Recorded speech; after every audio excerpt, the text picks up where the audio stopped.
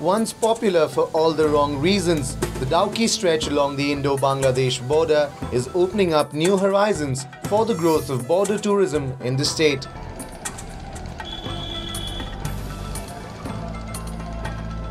The stretch of the international border, once famous for drugs and cattle smuggling, militancy and infiltration, now wears a completely redeemed look.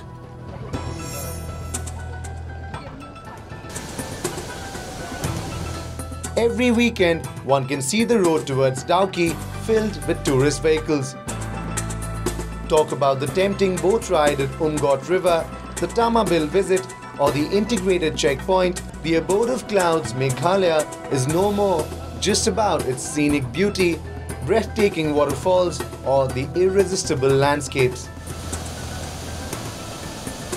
A leisurely drive along the Dawki border stretch will hence not only leave you in awe of nature's abundant beauty, but also expose you to the various newly added dimensions as part of the ever-blossoming border tourism in the state.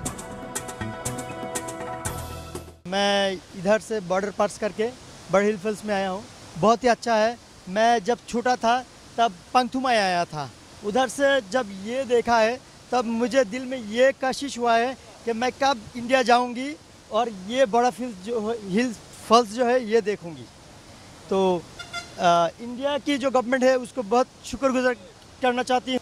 Being from Assam always very close to Meghalaya and Shillong always wanted to visit Dawki so on our road going to Dawki we just visited the one of the cleanest villages of Asia which is really nice and also saw the the balancing rock and also the the root bridge Uh, lovely opportunity uh, for tourism to be expanded here.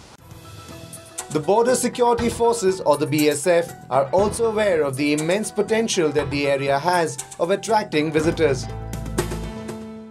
There are a lot of scope here for uh, border tourism uh, not border tourism but this uh, uh, place is very attractive and you you see uh, the bangladesh side they are exploring all these things i think uh, if we do something here lot of uh, tourist influx will be here Conscious of the kind of prospect border tourism is in Meghalaya and the kind of revenue it can help bring in, the state government is leaving no stone unturned to translate this infinite potential into one major tourist magnet across the nation. Tourism in Meghalaya is not only confined to the popular places or places that can be googled. It has spread out to the border villages and this falls behind me just few kilometers away from the interna- international border.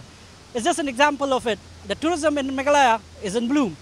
With video journalist Francis, this is Roshan Rai near Dawki in Meghalaya for Northeast Live.